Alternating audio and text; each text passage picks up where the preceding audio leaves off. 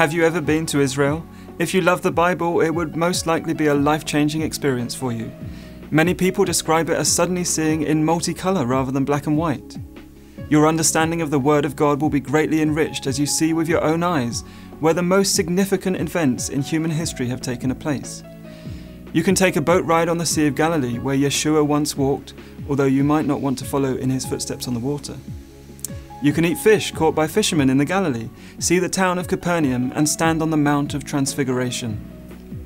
You can go to Nazareth, where there is a village set up just as it used to be in the first century. You can drive through the valley of Armageddon and visit Mount Carmel, where Elijah showed the prophets of Baal that the God of Israel is the only true God. Then, of course, there's Jerusalem. You can walk up the Mount of Olives and overlook the city and pray for her just as Yeshua did. You can follow his path from the Garden of Gethsemane with its ancient olive trees to the area where he was crucified and buried. You can go inside the garden tomb and rejoice that Yeshua's body is not there. You can see the Western Wall where the Jewish people still pray for the Messiah and for redemption to come. You can see the original city walls built at the time of Nehemiah and the ruins of the temple where Yeshua and his disciples went to worship. You can visit the city of David and explore Hezekiah's tunnel. Then you could go down south to the desert, relax in the beautiful oasis of En Gedi, where David and his men hid from King Saul. You could go for a float in the Dead Sea, visit Bedouin tents and ride on a camel. You can see the ancient Dead Sea Scrolls of the Bible and the place where they were found. You can experience the eerie and beautiful Judean desert where Yeshua fasted for 40 days and nights.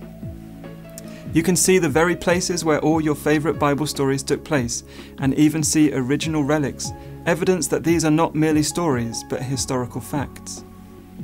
As well as visiting these ancient places, it is just as exciting to see the living stones of God's people worshipping in Israel today. Meet and encourage Israelis, Jewish and Arab, who love the Lord and are helping to expand His kingdom. By expressing love for God's people and appreciation for the land where the roots of your faith are found, you could even bring a blessing to Israelis who don't know the Lord yet. Many of them feel hated and misunderstood by the world. By coming in peace and love in the name of Yeshua, you could help them see that God has not forgotten them. Israeli people are seeing the love of Christian tourists, and their curiosity is drawing them to better understand who Christians are and what their faith is all about. Talk to local people, hear their stories, their hopes for peace, their jokes, and their fears. Real Israel is so different from what you may hear in the news reports.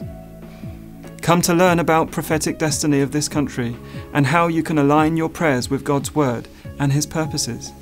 This is the place that he has chosen as the focal point of his plan for humanity. Come and see a country of immigrants from every corner of the earth. God scattered them and then brought back to the land just as he promised in Ezekiel 36. With a Bible in your hand, you will be able to see how prophecy is unfolding in Israel today before our eyes. God is faithful to his promises.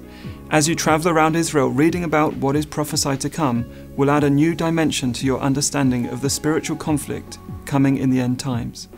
It's hard to describe what a profound spiritual effect this trip may have on you. You need to come and experience it for yourself. Israel is where it all began. It is where the Bible events took place, where the Messiah was born, and it is to Jerusalem that he will come back to establish his kingdom and reign over the whole earth. So get yourselves acquainted with the land of your future kingdom. Bring your walking shoes and your Bible and prepare for the most extraordinary adventure.